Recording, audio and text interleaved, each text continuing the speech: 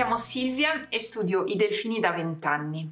Vorrei offrirvi 10 consigli veloci che potrebbero aiutarvi nel caso intendiate percorrere questo cammino. Siete pronti? Ok. Numero 1. Partecipate a congressi e seminari di biologia marina. Potete imparare tantissimo e allo stesso tempo incontrare persone valide che poi potrebbero entrare a far parte della vostra cerchia professionale.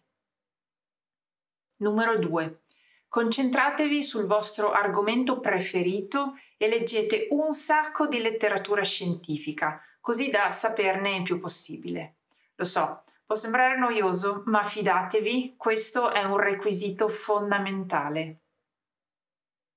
3. Abituatevi a scrivere molto e a sviluppare un'attitudine allo stile e alla chiarezza e fate attenzione agli errori di battitura. Magari voi non ci fate caso, ma altri li noteranno di sicuro. 4. Cercate di conoscere i veri esperti e prestate attenzione alle loro opinioni. Leggete i loro articoli scientifici o cercate online loro interviste e video. In questo modo potrete identificare i professionisti che vi ispirano di più. 5.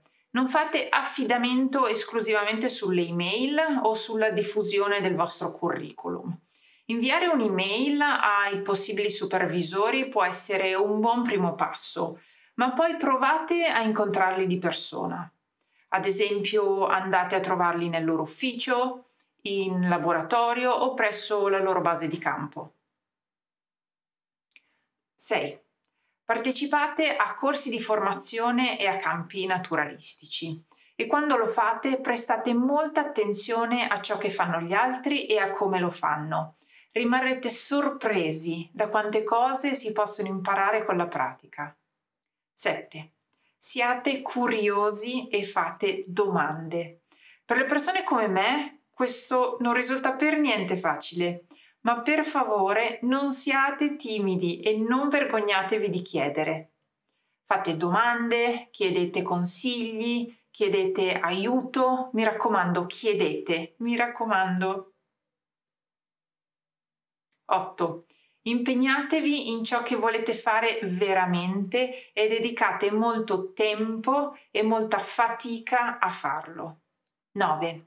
A me questo punto è servito moltissimo concentratevi su un soggetto di studio che vi stia a cuore e magari su qualcosa che possa portare beneficio anche agli altri, ad altre persone, animali o persino a interi ecosistemi.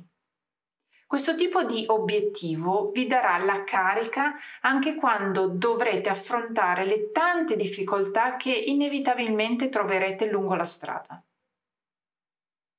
Ed ecco il mio ultimo consiglio. 10.